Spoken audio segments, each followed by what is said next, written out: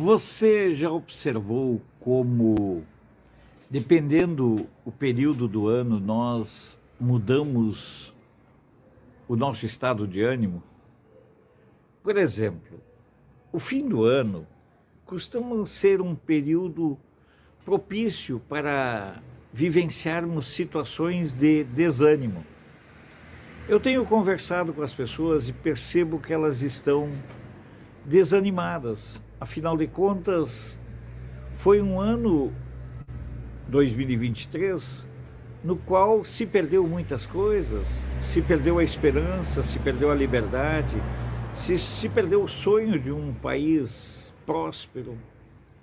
Enfim, tantas pessoas ficaram sem os amigos, ficaram sem sua fonte de renda, sem seu trabalho.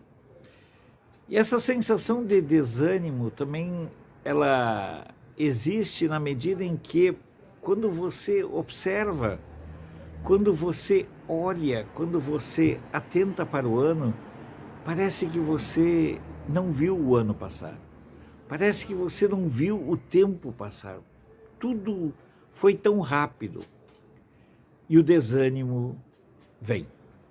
Mas já pensou se Jesus tivesse desanimado e desistido?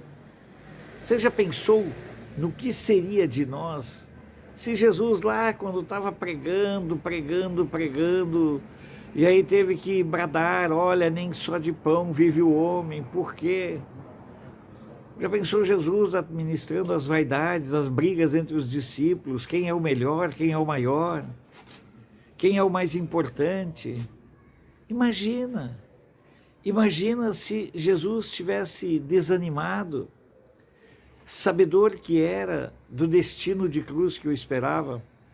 Vocês já pensaram? Vocês já pensaram o que seria de nós se Jesus tivesse desistido? Se Jesus tivesse deixado de lado, largado a sua missão? Você já pensou o que seria de nós se não tivéssemos a certeza da vida eterna, da salvação? Eu fico pensando no nosso desânimo justo, humano, mas fico também pensando em como nós, muitas vezes, buscamos formas e mecanismos para nos esconder.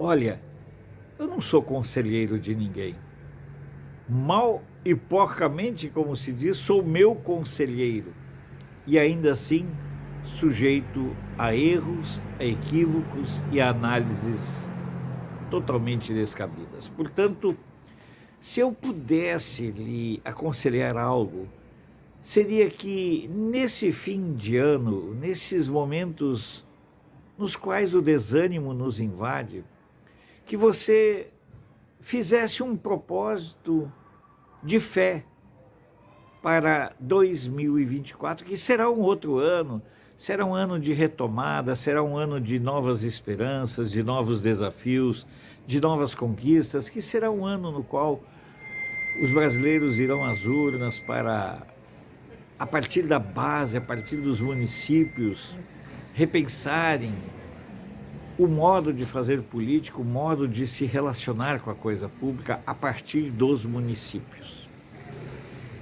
Você já pensou se entre os seus projetos para superar o desânimo que você vive agora, e que é um desânimo normal, humano e compreensível, imagina se você decidisse, por exemplo, fazer um projeto para, em 2024, ler a Bíblia.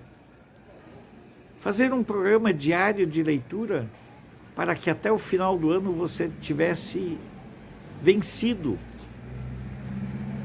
toda a leitura.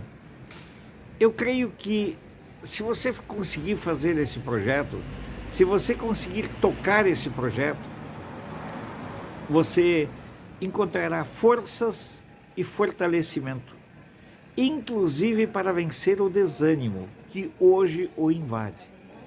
O problema é que nós nos desanimamos porque somos pautados por referenciais e parâmetros humanos. Nós precisamos entender que a nossa decepção, o nosso, o nosso desânimo, é plenamente normal e natural. Não pense em vocês que eu não desanimo. Não pense em vocês que eu não me canso de certas coisas que a gente vive, convive, sabe, conhece e enfrenta. Por isso, a minha proposta muito simples é que você use o desânimo para se fortalecer que você use, que você busque no seu desânimo força, fé, coragem e energia para estipular metas, mas estipule suas metas do campo espiritual.